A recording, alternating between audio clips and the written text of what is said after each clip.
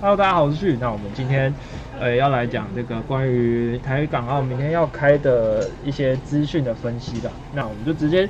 进到角色的分析这个部分。那我们今天先来讲第一支南华真人哦。那其实南华真人的话，我觉得算是也算是一个相当破格的角色啦。那就是第一个点，就是在于它杀的 CG 是全部的 C 珠激烈强化。那如果只要配上落很多 C，像是比干啊这种落很多 C 的下去，其实那个伤害会非常的恶心。就是变成说，如果你叠了很多红珠嘛，然后你又留了很多比干的 C，那这样子的话，基本上会是等于是多四十，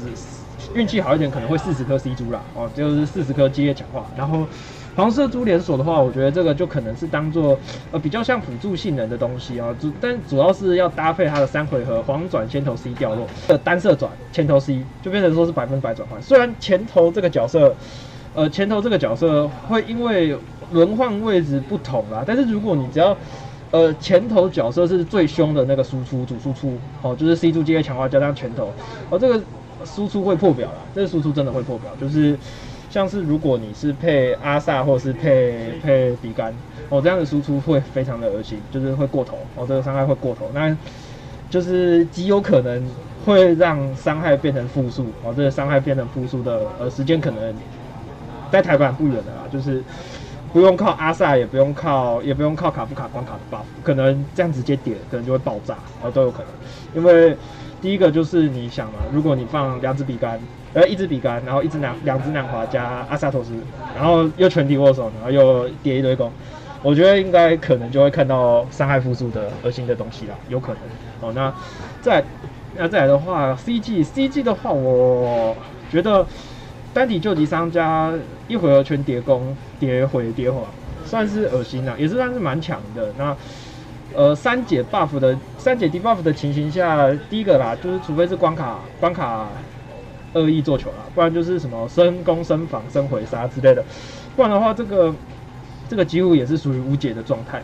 那由于它攻击机制其实不算太差，应该不会有像呃司马迁有疲软的问题哦。那被动一我们就不特别多说啊。被动二的话，学术角色暴风激烈强化。那我自己觉得啦，学术角色的话，呃，以黄属性的状况而言，就是几乎都是还是主要都是限定角的部分哦，所以。它还是是需要靠抽弹去搭配。那我觉得现阶段的话是可能还是会以，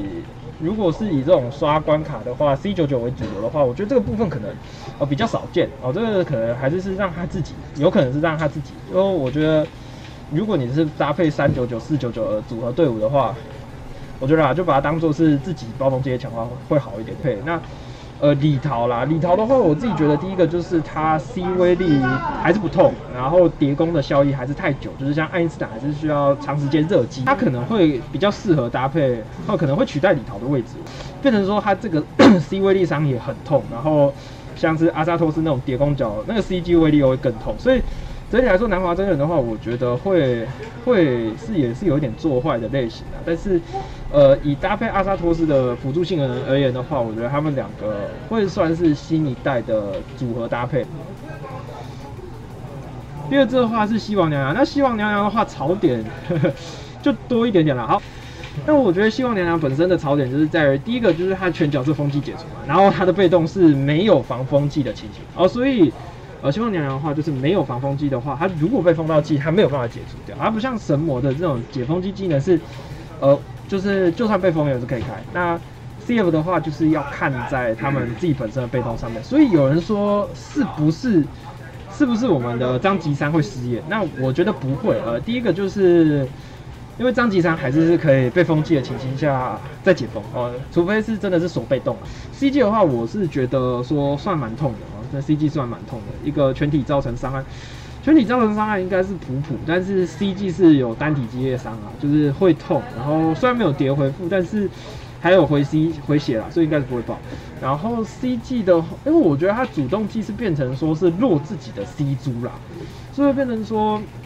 那个伤害可能会小小输一点潘奈潘奈德。然后被动一，我觉得这个也算是还 OK，防毒跟。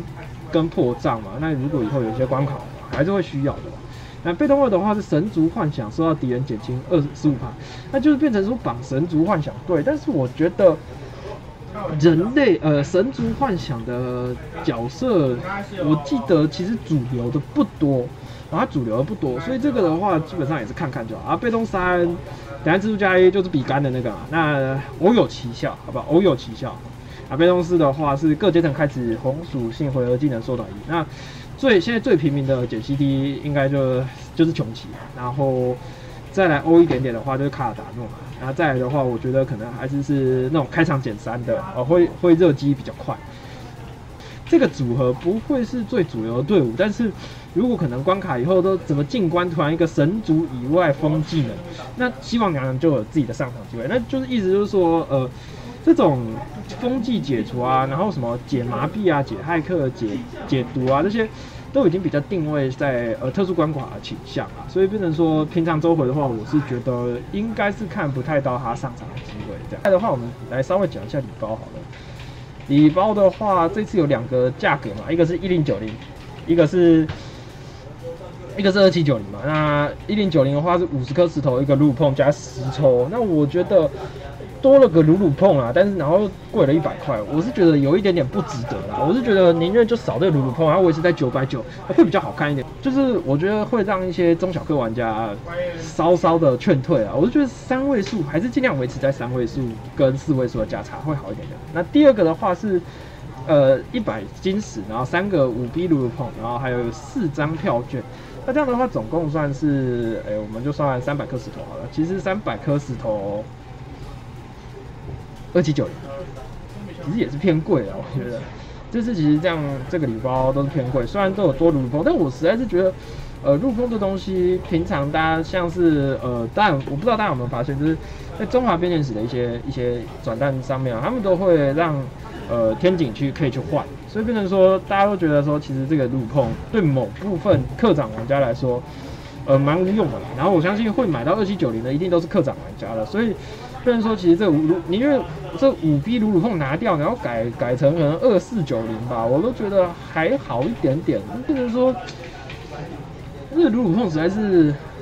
我是觉得就是摆进去有点无用啊。宁愿鲁鲁碰拿掉，它便宜一点点，大家可能还会比较想买啊。就是我是觉得这次的礼包是偏贵了，但是就就看大家自己吧。反正如果你要铁了心要氪的话，你一定是会买这个，因为还是比一般买金石便宜。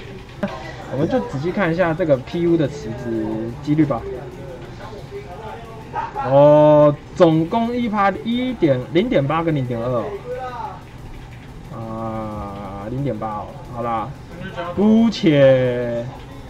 给过了，好不好？那我们看一下保底的那个三五趴二五趴六十三五。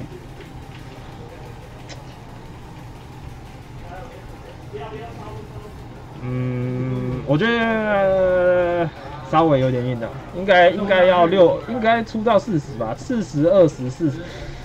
五十三十二十，我都觉得还比较好看。这三五二五四十，这个几率有点几百哎。呃，就是我发现我前面那段忘记讲到最重要、最重要、最重要，也是应该是最多人在意的事情，就是台港澳的温泉池跟这一次的。呃，中华编年史的池子应该怎么投资会比较好？那我说说我自己的看法。那我自己的话，我觉得是说，呃，第一优先要抽小倩，因为小倩的话，它是固定落角色嘛，所以你旁边就是放个最强大的角色顺。那新手的话就可以速刷非常非常多的关卡。那第二名的话是阎罗，阎罗的话，因为它是呃落爆弹落落爆弹，然后还有叠攻，所以阎罗也会是蓝属性最强的打手之一。所以我也会建议阎罗。在第二顺位来抽，然后第三顺位的话才是南华真人，诶，因为南华真人的火力相当相当，这种出在于自己队伍的牛棚的火力够不够，所以的话，我会觉得如果以一个新手而言的话，南华的火力，你当你的洛西角色储备不太足够的时候，你会觉得说，诶，南华的火力你会出不太来，所以呃，以一个刚入坑的阶段，然后或者是游戏中期的阶段的话，我会建议照着小倩。阎罗、南华这三个抽取的顺序来抽哦，那所以我觉得话还是可以优先抽，呃，这一次的温泉。那这个池子的话也是到今天三点。那我在这部片应该我预计会在十二点上片。那还有最后三个小时机会的话，你们也可以再来去拼一下这个池子。好了，那今天影片就这样子哦，拜拜。